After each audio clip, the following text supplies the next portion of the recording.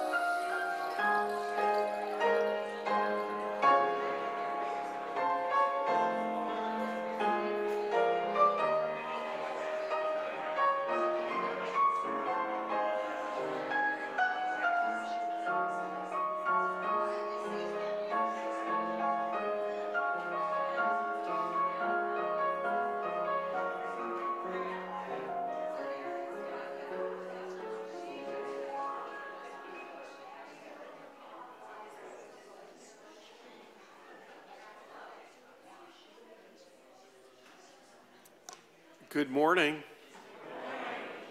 Welcome. Welcome to Parkway. Welcome to Parkway on this uh, fifth Sunday in Eastertide. Here we seek to listen deeply, build community, and act for justice in the spirit of the Holy One. We honor those of you who are with us on Zoom or on Facebook Live, as well as those who are in the sanctuary today. no matter what mental health state you happen to find yourself in today, no matter what physical health state you are in, you are welcome here. Whatever your gender identity or expression, sexual orientation, racial identity, ethnic identity, you're welcome here. Wherever you find yourself on that spectrum of neurodiversity, you are welcome here. Regardless of what you have or don't have in your bank account or where you live or what your relationship status is, you are welcome here. Whoever you are, wherever you are along life's journey, you are welcome here. So, most often we acknowledge that we're on stolen land land that was um, stewarded for countless generations by in, indigenous folks of nations like the Tutelo, the Shakori, the Saponi, and the Cheraw. And simple acknowledgement is hollow. So we need to continue to find ways to build a more equitable future to find repair, to be in relationship with those who were on this land long before many of our forebears.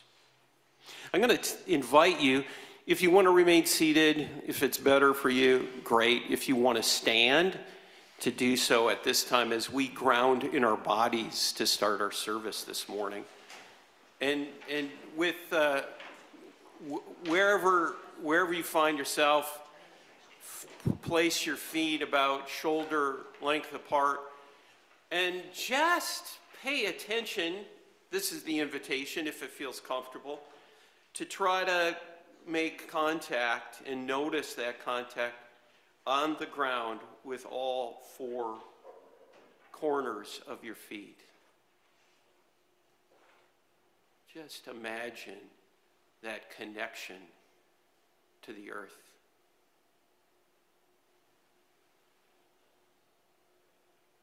Take a breath slowly in and back out.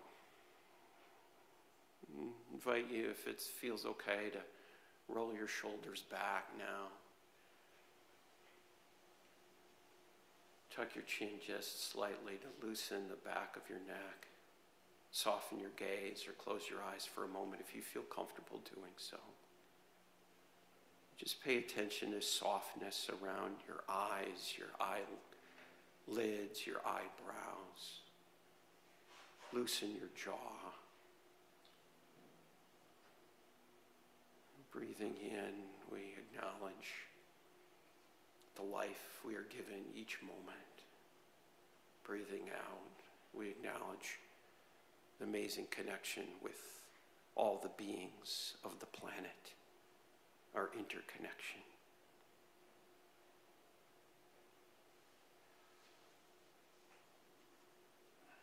You may settle back in for our prelude.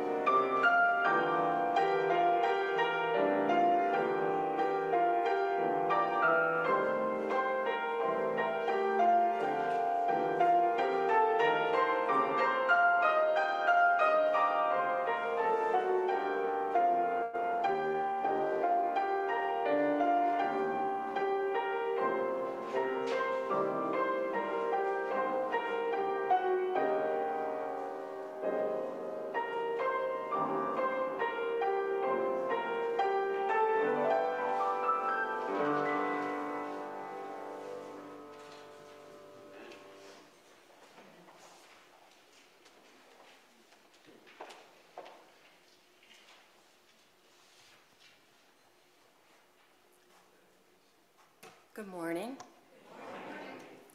If you'll join me in the opening prayer. We are grown into a single living community through you, great tender. Awaken us to our unions in the midst of our difference. Inspire our courage for common group in the midst of our suspicions. Amen. And now, if you are able, please stand and join with the opening song, number 55, from the New Century Hymnal, Rejoice, You're Pure in Heart.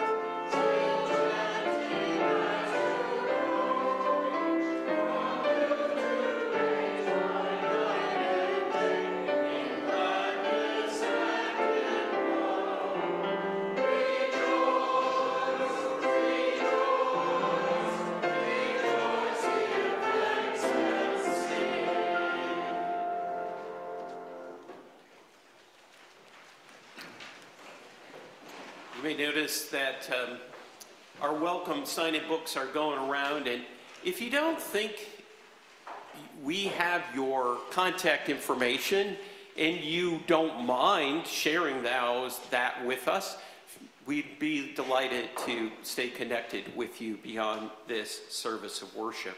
We come to our time of celebrations and prayer concerns. I'm going to invite those on Zoom now to place in the chat what is on your hearts of concern and joy. And in a moment, those of you as well will invite to do the same.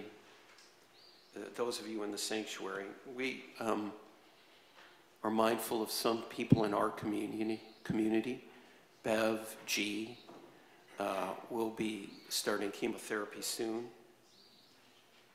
Diane S.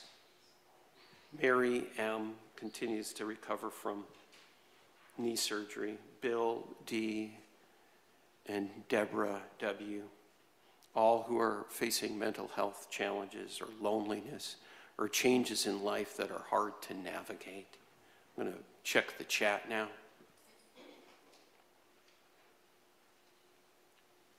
So I see here pray for stepdad and his medical journey and my own dad. So that, that's from Chance. Um, and Chance also is asking us to lift up the family of the woman who was murdered here in our community on Wednesday. I'm going to look for another moment. Here's one more. Uh, Beth, gratitude for such a beautiful day in a word or, or a sentence, what do you lift up or have concern for? Yes, Michael. Praise for the birds singing outside the window and prayers for rain. Praise for birdsong, prayers for rainfall. Terry. I'm happy to have my new friend Jamie Lynn visiting us today. We are grateful to have Jamie Lynn in our midst in worship. Roseanne.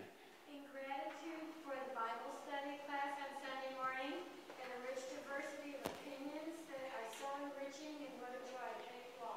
Gratitude for Sunday morning Bible study and the diversity of perspectives. And uh, just continued prayers for friend Alice who's awaiting uh, a kidney transplant. And also for my, continued prayers for my coworker who is still recovering from a, a pretty major surgery.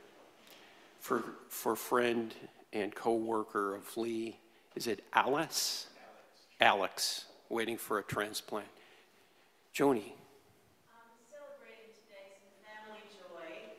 My daughter uh, just got engaged, and my son and daughter-in-law just announced that they are expecting.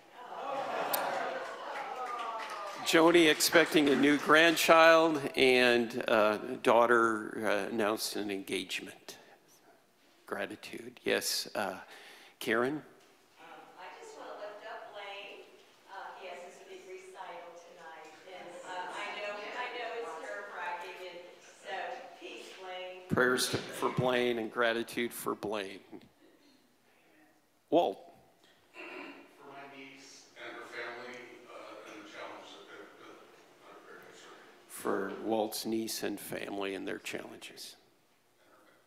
Christina? Judy? Oh, I'm celebrating my grandson Parker's just getting ready to do his Eagle Scout project. That the last step to becoming an Eagle Scout. Parker, grandson, getting ready to do his Eagle Scout project. Kate? A celebration for my ne- next door neighbor Faith Crosby. She sold her house, bought a house in Greensboro that she and her daughter Emma will live in. And she's got a lot on her plate, so that's Faith Crosby. Yes, prayers for, with faith as she sold her house here, getting ready to move to Greensboro with her daughter. Sarah Lou? Uh, celebration of my great niece Emily who's getting married that Saturday.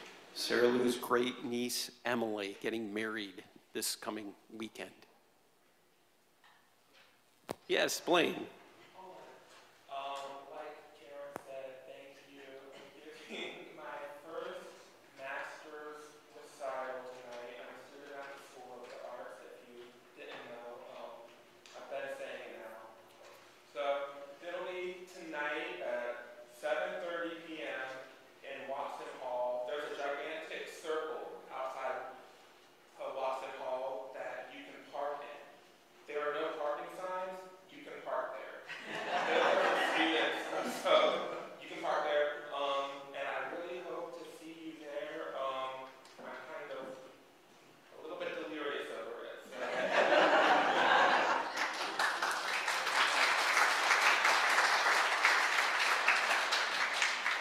So. So we, we definitely hold um, John and Vivian S. in prayer. John is recovering from his fall, so hip, I mean, uh, rib and, and clavicle um, uh, damage, and Vivian as she recovers from foot surgery.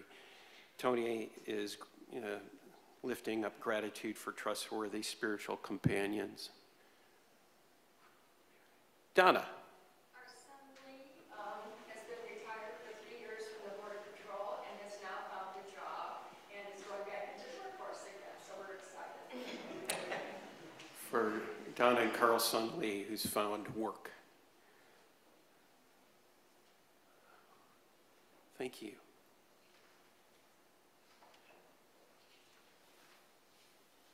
So let's, um, you know, so many things cannot be shared. Um, so um, we know you hold them. And so we pause to just be immersed in a, an awareness of presence for a few moments before we share the prayer Jesus taught in the language and tradition of your choosing.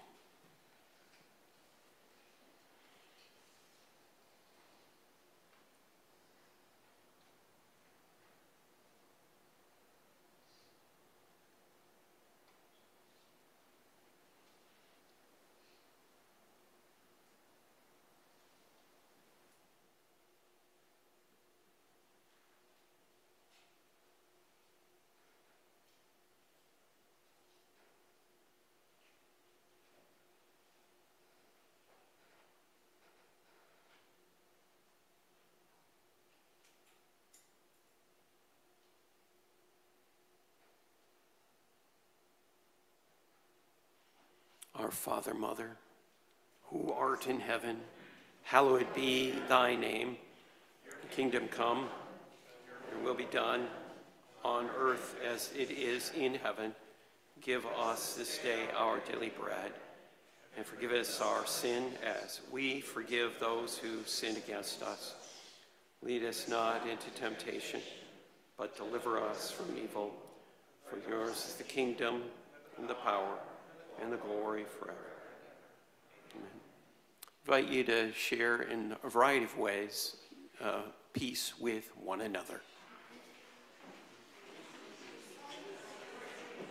Hey, peace. Hey. Yeah. Hi, Ann. Hi, Nancy. Hey, Diane. Hello. Oh, Diane. Hey. Hey, Ann. Yeah. Hey, Beth. Hey, John. How you doing, John? Hey, peace, folks. John, Hey, how are So, you? oh. What? good to see you. Oh, thank you. And Hey, how are you doing? You guys. Hmm. Peace. Peace, Tony. Tony. Good with y'all. Hey, Susan. Feeling for you, John. Yeah. Susan. Thank you. Thank you. Hmm. Hey, Dolores. Dolores. Good to see you and Joni. And Donna and Joni. everybody. Yeah. Tony's out in the woods. In the woods. Oh, pretty. Nice. Oh, nice. I noticed Then it I behind remembered him. what time it was. Ah, Yeah. Then Uh, yeah, time falls away. Mhm. Yeah. Yeah.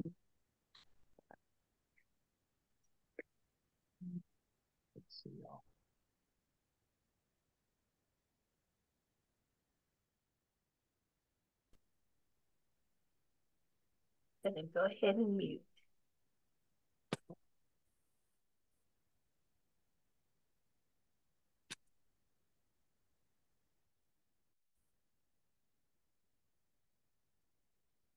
ah. Pretty field, Tony. That's the backside of the dunes at the state park alongside Lake Erie called Mentor Headlands. Three miles long. It's really, really beautiful. What state are you in again, Tony? I'm in Ohio. This is about a half hour east of downtown Cleveland. That picture. Okay. Not not too far from, like I said, about a half hour from where I live. That's a lighthouse uh, alongside Lake Oh, Erie. really? Yeah.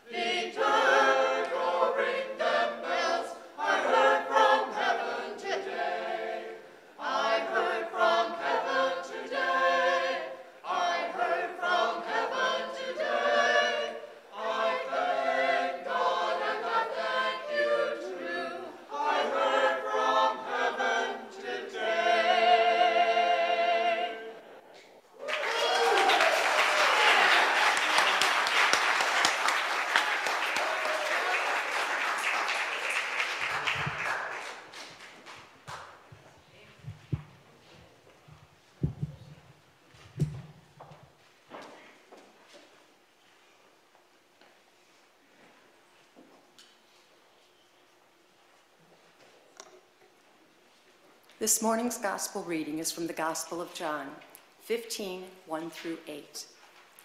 I am the true vine, and my Father is the vineyard keeper. He removes any of my branches that don't produce fruit, and he trims any branches that produce fruit so that they will produce even more fruit. You are already trimmed because of the word I have spoken to you. Remain in me, and I will remain in you. A branch can't produce fruit by itself, but must remain in the vine. Likewise, you can't produce fruit unless you remain in me. I am the vine, you are the branches. If you remain in me and I in you, you will then produce much fruit. Without me, you can't do anything. If you don't remain in me, you will be like a branch that is thrown out and dries up. Those branches are gathered up and thrown into the fire and burned. If you remain in me and my word remains in you, ask for whatever you want and it will be done for you. My Father is glorified when you produce much fruit, and in this way prove that you are my disciples. Thank you for the word of God.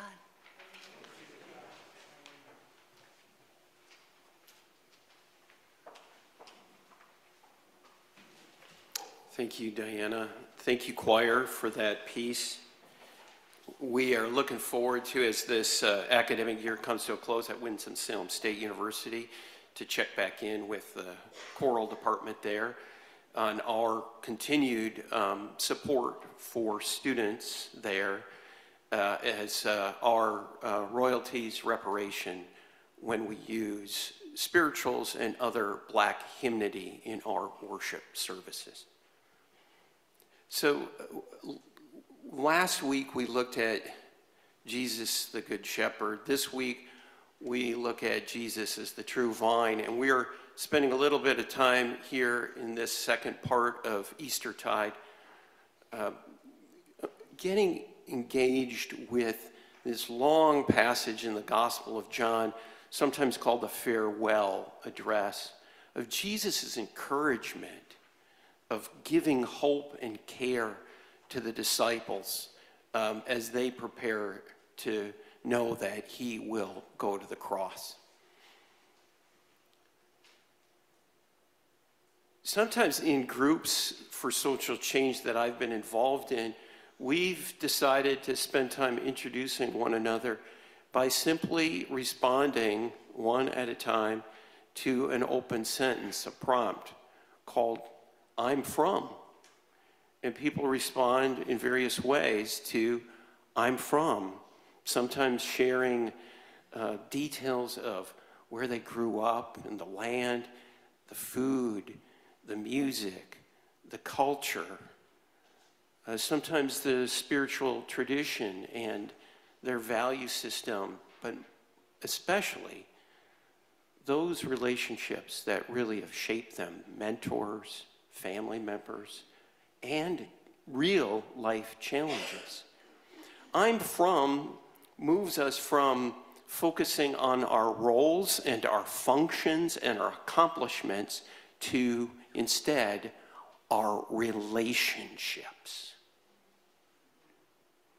For instance, um, if I were to be asked today, I might say, I'm from weekends growing up shoveling silage into troughs for milking cows. I'm from tables where the Heidelberg Catechism was recited before there was a hand of sheepshead. I invite you just for a moment, one response to somebody near you.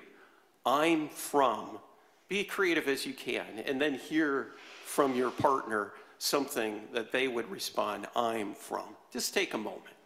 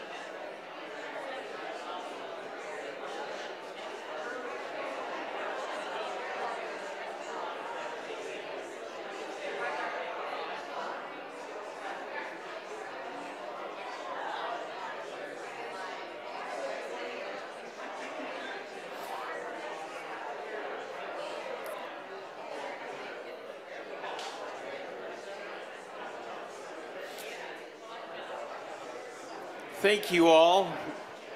Now that things are delightfully out of control, I will try to call you back. You might try that at further time, maybe, uh, maybe after worship or some other time.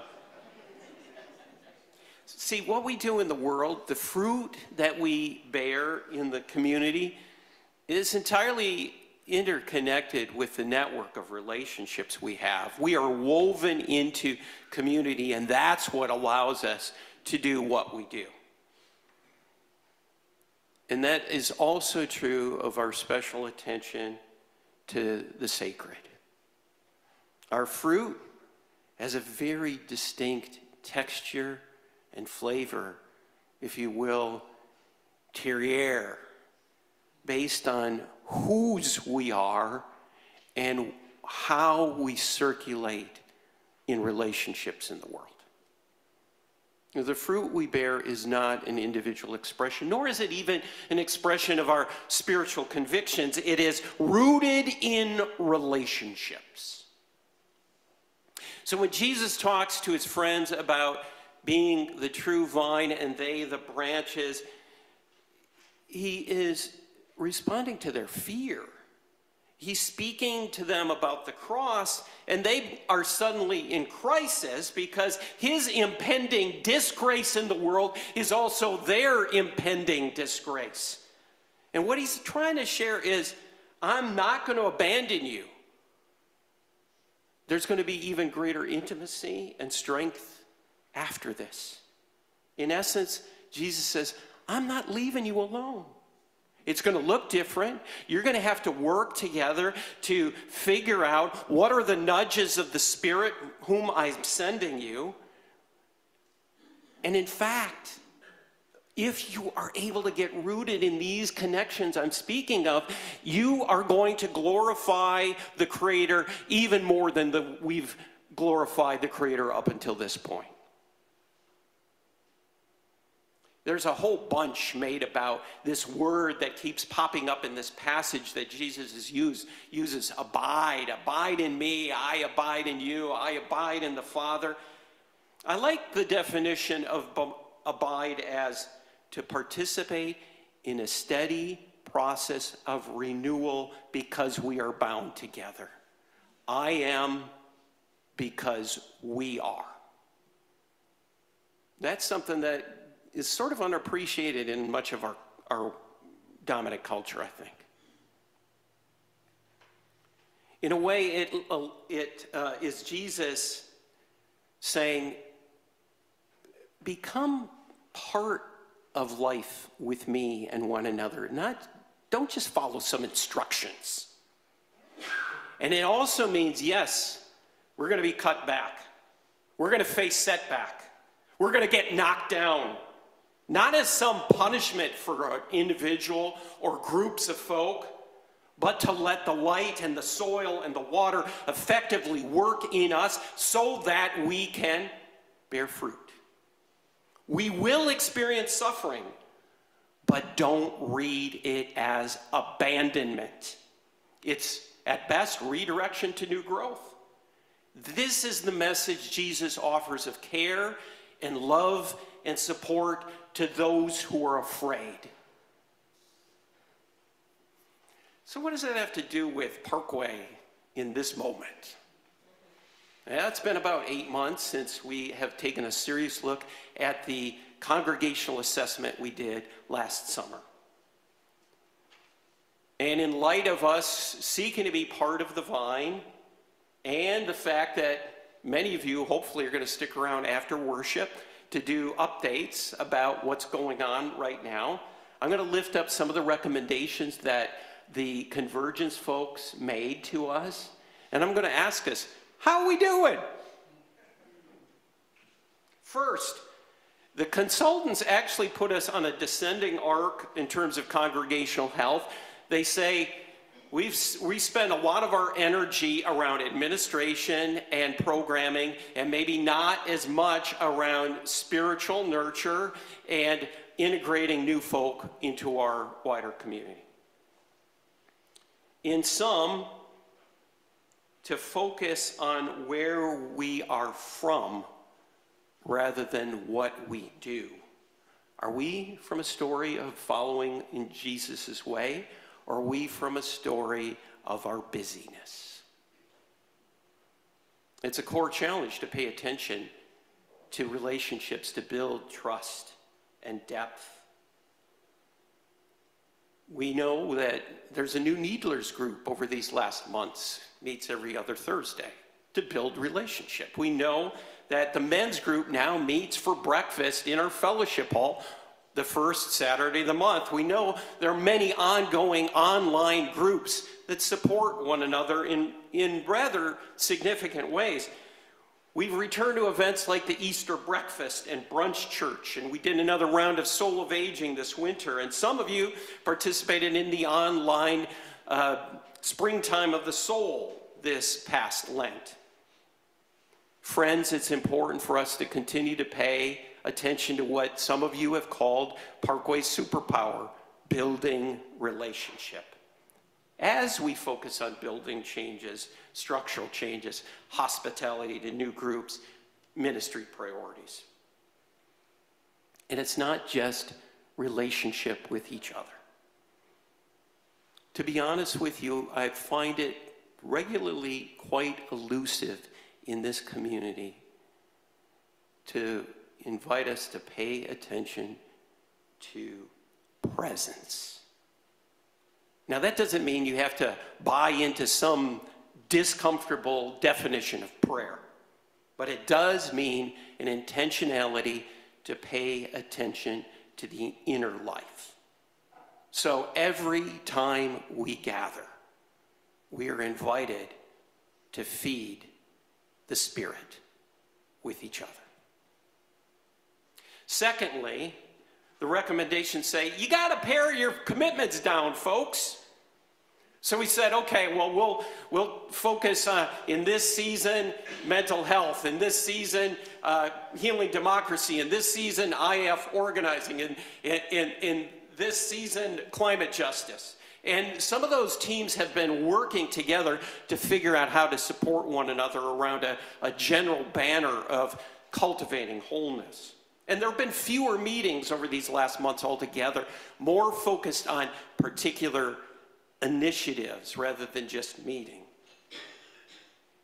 And we know that new things are emerging with your support, like support for our students across the street at Forsyth Tech with Forsyth Tech Cares, like a new plant based food group that meets once a month on Mondays that's gotten support.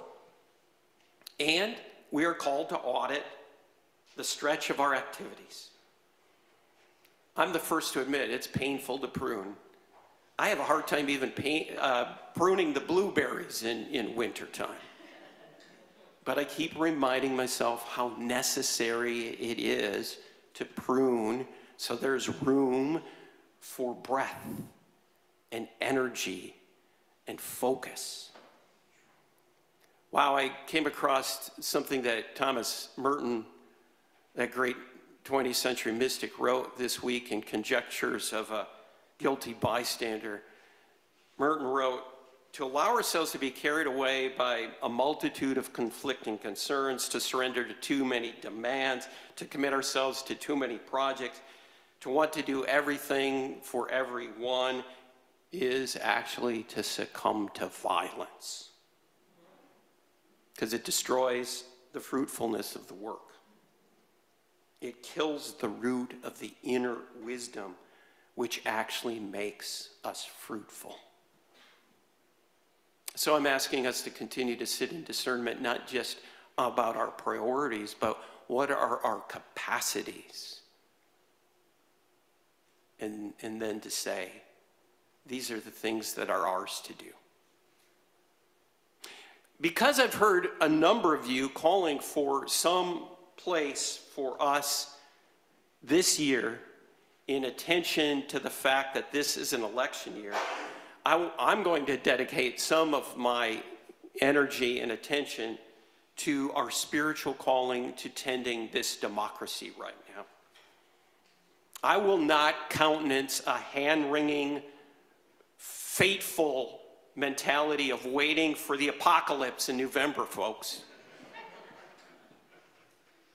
My hope is that we do it in a grounded in prayerful conversation, listening to our own internal news as at least as much as we listen to the evening news, so that we can move and act as part of a vine rather than just be branches that get added to the fire of disruption and disunity in our community. Thirdly, the recommendations were encouraging us to really exercise our muscles of sitting with, tolerating tension, discomfort, disagreement, change, conflict. I must say, coming out of the pandemic, Parkway, you have been resilient and creative. And all of us have are, become pretty exhausted at the accelerated amount of change we have to endure. So let's celebrate where and how change has actually brought vitality. Like the people in person from their devices who have joined us this morning. Like all of you who have stepped up to imagine new ways of the community using the facilities that we have in this building. So, there are always going to be rumbles, and rumbles actually can mean to growth. We still haven't all gotten on the same page about worship music. and let me just say, don't put that at the feet of Blaine. Because these are collective conversations we have about trying to find a balance between traditional hymns and other songs and the choir and special music and our congregational participation. So let's stay in conversation. Sometimes there's tension still around communion as we try to find all of the different ways of honoring a sense of spiritual home because you all come from so many different traditions. And so let's continue to be in conversation. And sometimes we can't agree about when and how we're going to have educational experiences and spiritual growth opportunities, whether it's hybrid or what time of the week or what's going to happen on Sunday morning and we will continue those conversations. So, on, in a good chunk of July and a good chunk of August on Sundays, we're going to embark on a series of trying to strengthen our approach to have these conversations. Because if you look back at the assessment results, you know what you all said in your assessment? How do we deal with conflict? 90% of you, close to 90% of you said, well, we take it to the pastor.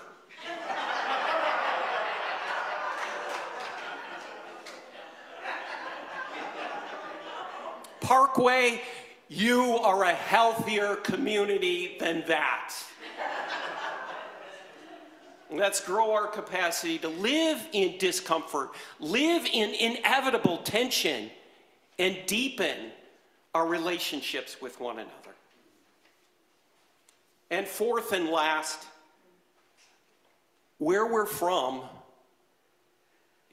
demands our constant evolving. It requires spice and wisdom shaped in spaces and stories of people not like us.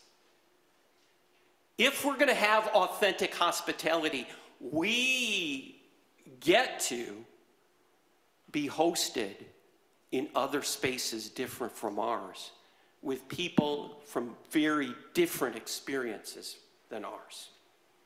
Two weeks ago, Bettina Love was in town. She's the author of that book, Punished for Dreaming, about public education in the United States.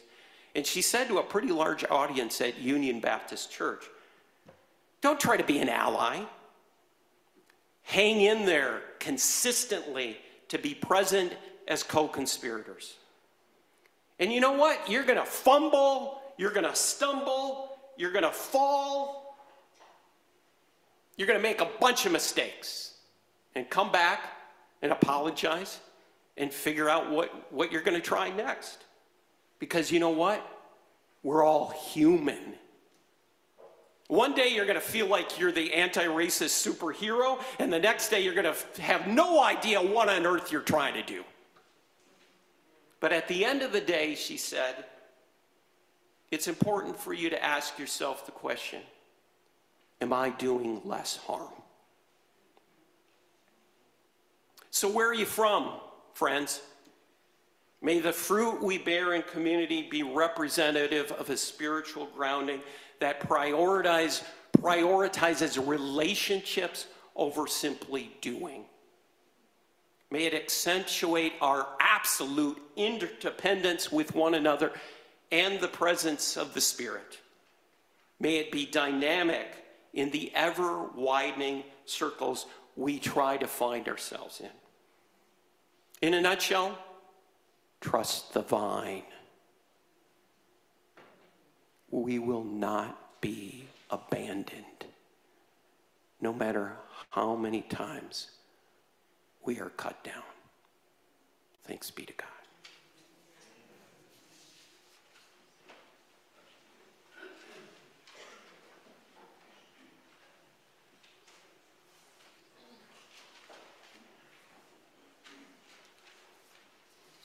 So we come to offering each Sunday. And by the way, starting in May, because some of you have asked for it, we are going to be finding ways to pass the plate in the pews again.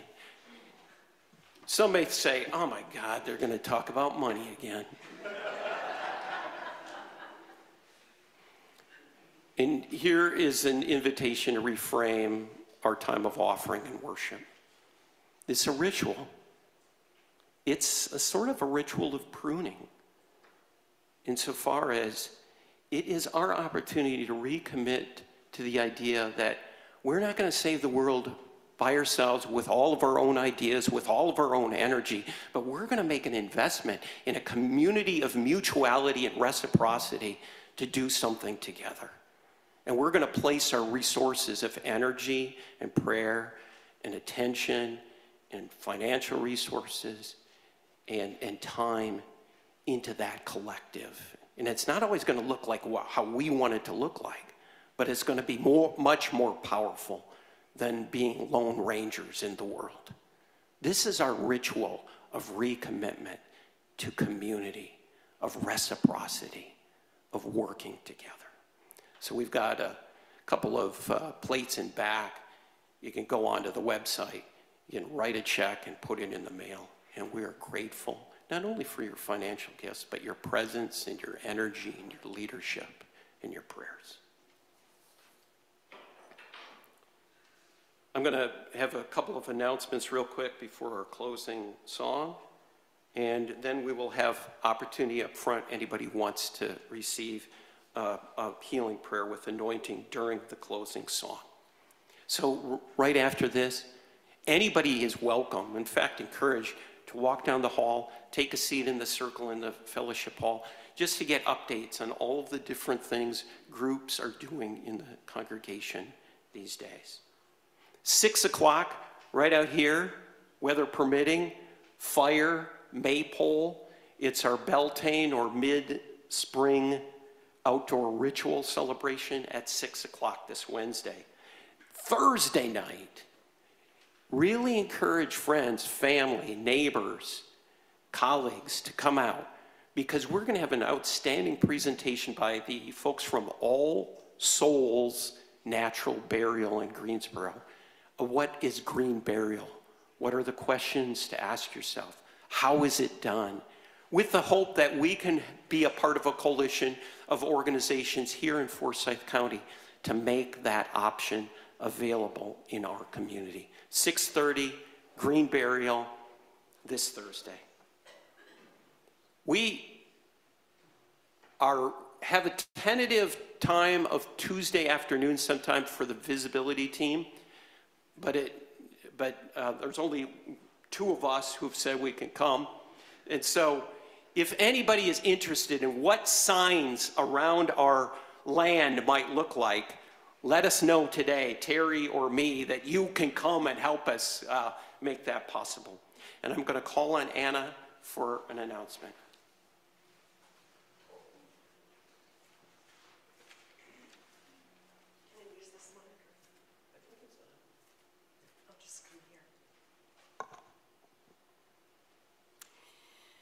It's frustrating being me right now as I age. I miss appointments. I'm scatterbrained, distracted most of the time. I have nagging thoughts about whether I was a good parent or a bad parent. What am I going to leave my kids? It's time for me to go to a retreat. I've hardly, I don't think I've missed any retreats. The one coming up is May 11th, Saturday, May 11th at St. Francis Springs. It's $25 and the food is great. We're bringing cups. Everyone brings a favorite cup. My favorite cup is broken. Maybe that's has meaning for me to bring my broken cup and find what I need to fill it with. I know that when I leave a retreat, I leave feeling a peaceful, calm, clarity, and connection. There's only a few spaces open. The poster is on the side wall. There's a QR code. That's what I did, QR code. You can sign up right there. So I invite you to take a space at the retreat and fill your cup.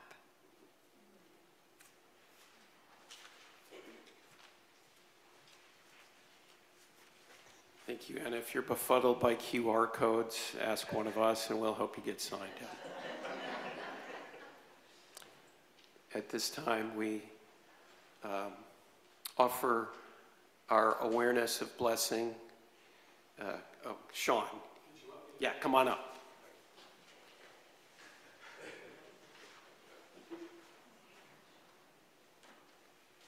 Soon, we'll have awareness of blessing, but one more quick announcement.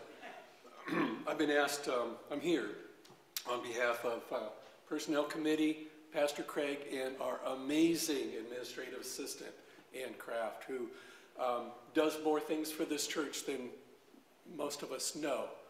And there's two things we can do to help her do her job within the hours that we can afford to pay her. And one is just remember that we have, church hours that she's here. Mon, not Monday, sorry, Tuesdays, Thursdays, and Fridays, 9 to 1. Got it.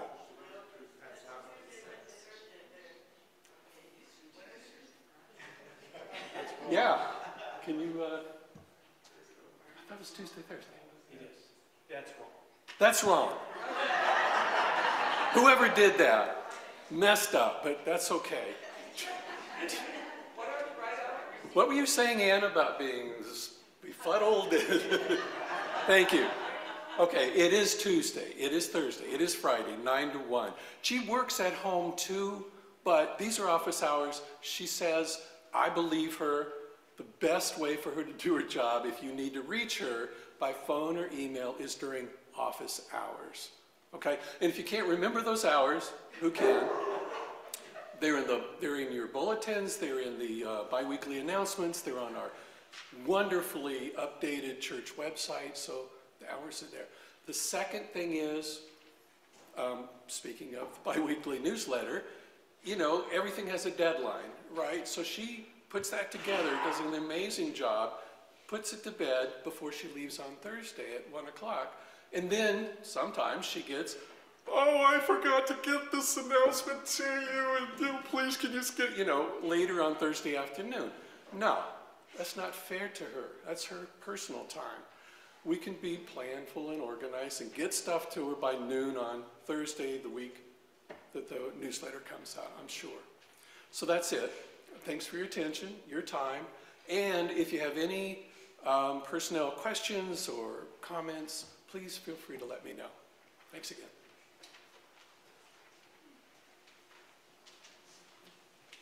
So rise as you're able in body and or spirit for closing hymn, not my brother, not my sister, and or come forward for healing prayer.